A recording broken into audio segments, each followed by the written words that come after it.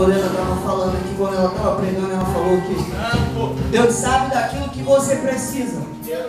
Mas você precisa dizer para Ele. E quando eu saí da minha casa, eu me lembrei de onde Deus tinha me tirado e aonde Ele me colocou hoje.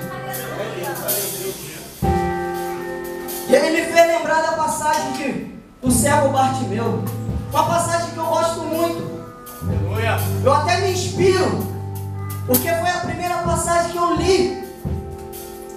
Aleluia. Quando eu fui parar num lugar onde eu conheci o Evangelho. A palavra se encontra no livro de Marcos, no capítulo 10, no versículo 46. Meu Deus! Tua glória! E vai dizer assim: E foram para Jericó. Quando ele saiu de Jericó, juntamente com seus discípulos e uma numerosa multidão, Bartimeu, o cego, mendigo, filho de Timeu, estava sentado na beira do caminho e ouvindo que era Jesus, o Nazareno, pôs-se a clamar, dizendo: Jesus, filho de Davi, tenha compaixão de mim. E muitos o repreendiam para que se calasse. Mas ele cada vez gritava mais alto: Filho de Davi, tenha misericórdia de mim. Aleluia. Glória Glória a Deus. Deus. Aleluia. É Deus Santo, aleluia. Irmãos, a Bíblia é bem clara. Quando ela nos ensina que nós sabemos que onde Jesus passa, algo tem que acontecer. Aleluia! Aonde Jesus está, a mesma coisa não pode continuar. E eu saí da minha casa com, com um coração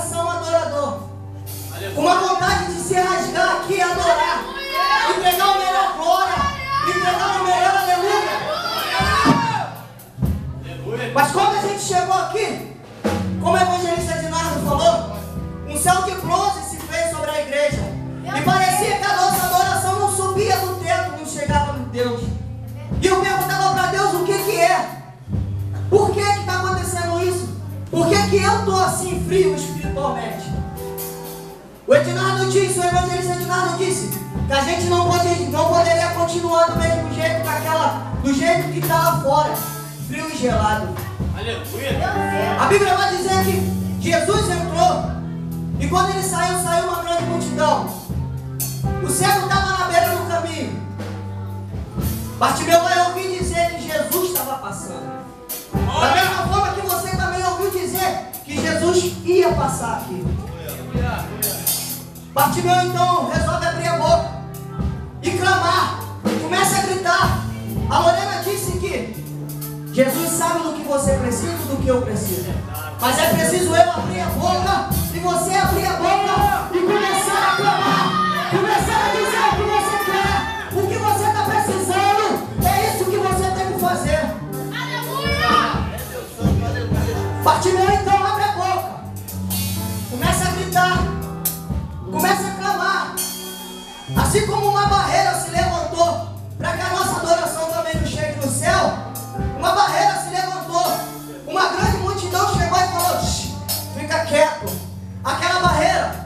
Bartimeu calasse a boca e não começasse a clamar, ele nunca iria sair daquele lugar para ele chegar em Jerusalém e viver as melhores coisas que ele poderia viver, e comer das melhores coisas que ele poderia comer. O que, que eu entendo com isso? Que a no- o nosso clamor,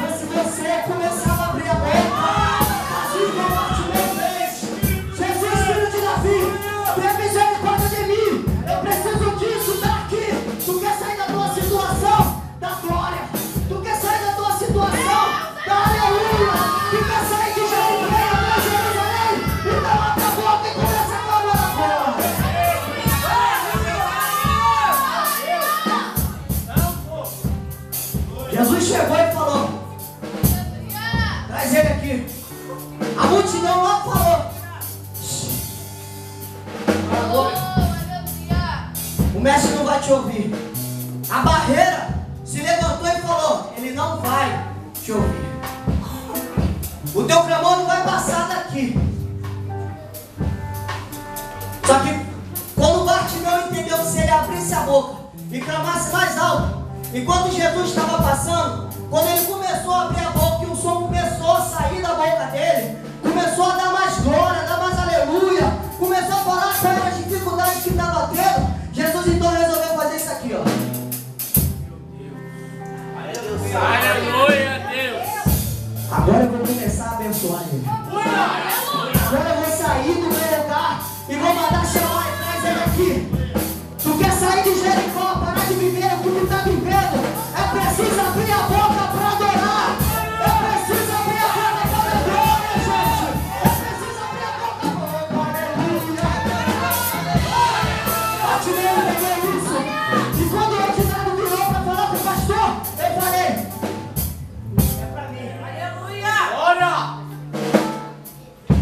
E eu comecei a abrir a boca e comecei a sentir a presença dele. Ele falou: a tua situação não vai continuar, porque tu resolveu abrir a boca para glória. Então já fica com